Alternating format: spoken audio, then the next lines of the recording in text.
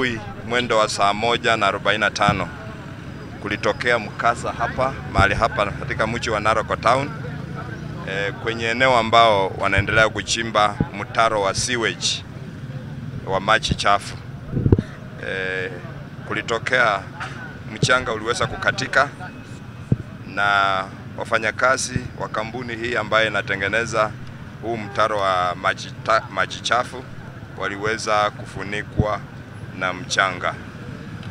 Hata hivyo eh, wananchi pamoja na wafanyakazi wengine walijisatiti sana, wakajaribu na wakaweza kutoa mchanga, na jumla ya watu tano ambao walikuwa wamefunikwa wameweza kuokolewa.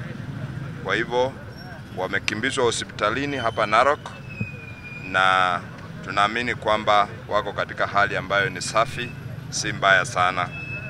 E, tunataka kuwasii wananchi hasa wafanyakazi ambayo wako katika eneo hili wawe waangalifu sana, kwa sababu kumekuwa na mvua kubwa na sehemu nyingi mchanga ni mwepesi.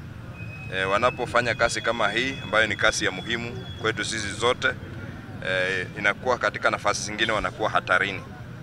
E, so tunataka kuwasii, mnakuwa waangalifu na mnakaa mbali kiasi na eneo hili la, la mjengo.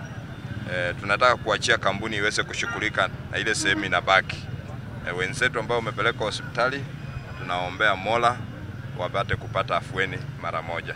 E, hasa hakuna majeraha ambayo inaonekana kabisa, maana ni wengi wametolewa wakiwa sawa, wakiwa wanaongea e, wanahi, wanasikia maumivu tu ya ndani ya mwili, so daktari watakapo washughulikia tutaweza kupata ufahamu zaidi yale majeraha ambayo wamepata. Majina anaitwa Samuel Mwangi.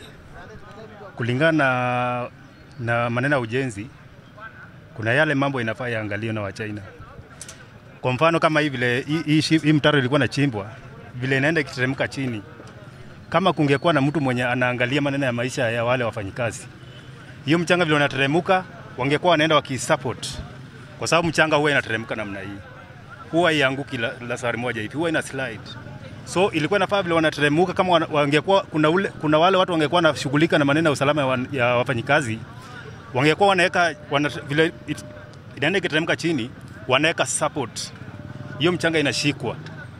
Hasa ndio ambapo hiyo mchanga hata wakati iwezi teremuka kwa sababu hasa imeshashikwa, lakini hasa kwa sababu hakuna usalama na serikali ya Kenya hata ishu, wale watu wameajiriwa waangalia usalama ya, ya wafanyikazi hawashughuliki, ndio ndio ambapo hasa unaona maneno kama inatokea kwa sababu hawa wafanyikazi wa serikali ile kitu wanakuanga naye ni kwenda kwenda kuona mchaina ule mkubwa wapewa kenye wanapewa, lakini hawajali wafanyikazi wafanyikazi wa hapa Kenya.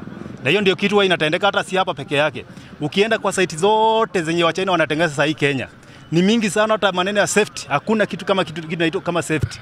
We mwenyewe ujijali mwenyewe, hiyo ndio maana unaona saa hii. Lakini kama tungekuwa na watu wenye wanashughulika na maisha ya wananchi wana, mambo kama haya hangetokea lakini kwa saa hii kwa sababu hasa wale saa hii watu wewe mwenyewe uji, uji, uji, uji, ujisaidie.